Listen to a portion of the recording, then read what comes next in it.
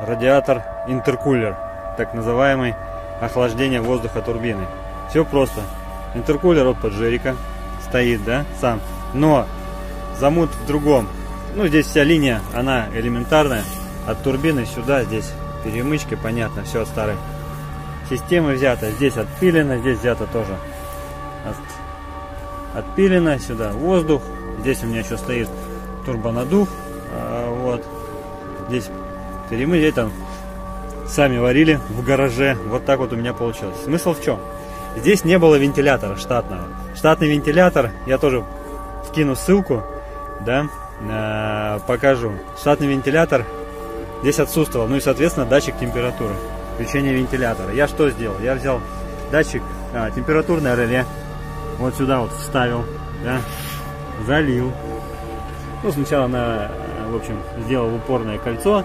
Да, туда его вставил. Я покажу, в каком он виде здесь. Вот. Интересно. Вот. Он сделан на 55 градусов воздуха. Все элементарно и просто. Подключил через реле, через минус. Все работает. Когда движка нагревается, вентилятор нагревается, в принципе он у меня стоит чуть-чуть в стороне от двигателя. А, летом он э, на ходу работает не так часто, на стопе в принципе работает хорошо и очень хорошо тянет. Вентилятор здесь стоит китайский, с китайского автопрома, но от какого-то, в общем, двигателя, который еще и в, Арабские Эмираты поставляется. Я не помню, там, в общем, есть описание. Все прочитайте в интернете. Он очень замечательный, хороший вентилятор. Тянет изумительно. Вот такой вот. Почти. От, кстати, стоит просто на автомобилях, да? Вот. Я вот туда пришпандолил, сделал крепление для него. Вот. И поставил датчик температуры. Все работает. Сначала ставил на 45 градусов, но слишком часто он срабатывал.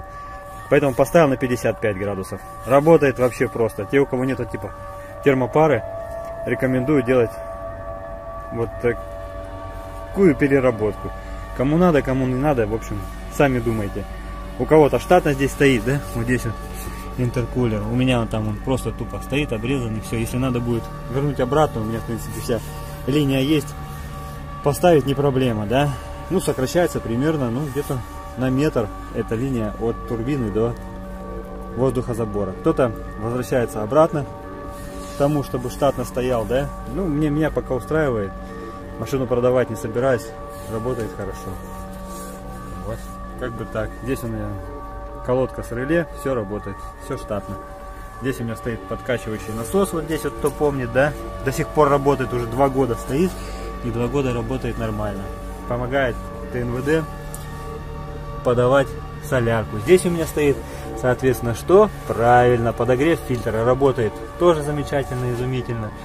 А, в штатную пробку, которая там внизу фильтра, он вкручена свеча просто и подаем напряжение.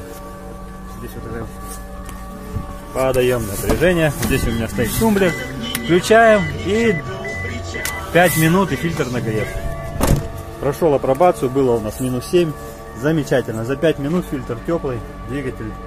И прошлую зиму у меня, в принципе, заводился при минус 20 хорошо. И сейчас заводится, до сих пор работает эта система.